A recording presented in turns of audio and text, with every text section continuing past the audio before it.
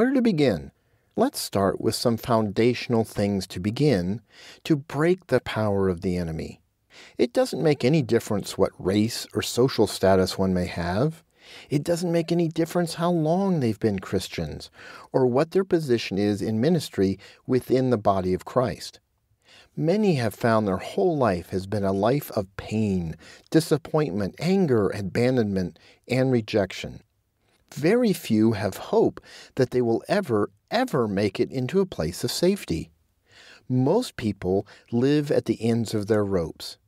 We see them coming to this other place where they begin to cry out to the Lord in the midst of their trouble.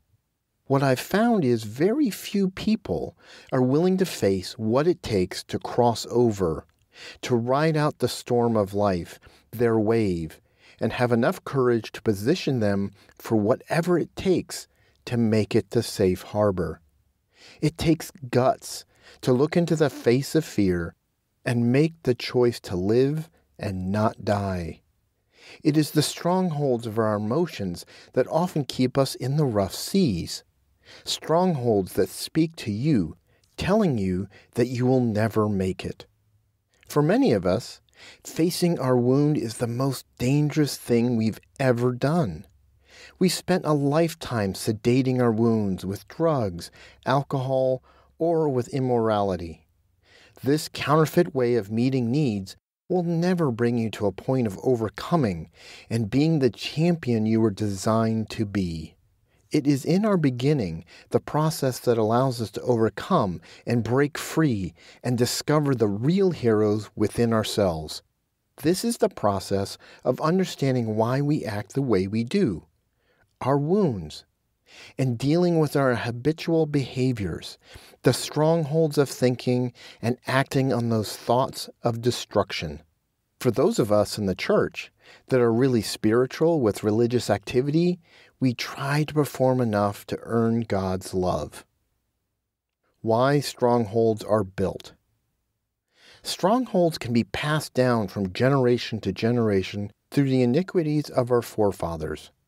When we allow negative strongholds of thinking to cause us to make choices that would wound our families, these choices can become sin.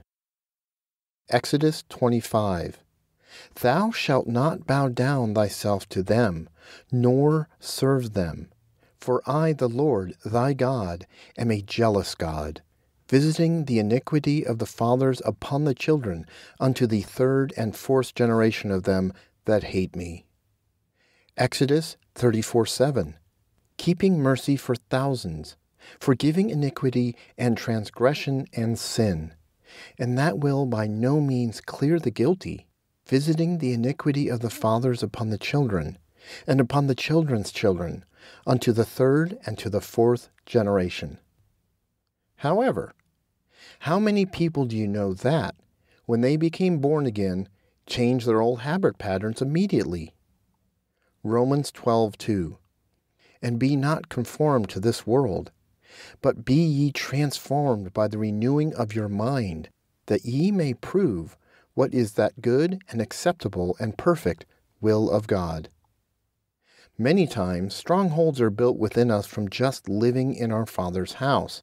There may have been no apparent wounding, Yet we find ourselves living in the same destructive lifestyles of our fathers later in adult years. How many of you know alcoholic people who grew up in alcoholic homes? Did their alcoholic parents cause them to become alcoholics themselves? No one can make you become like your examples in life except for you. The choices are yours. Did growing up in that environment influence or cause you to have an iniquity towards alcohol. Strongholds can be built from deep hurts that result from wounds we have received.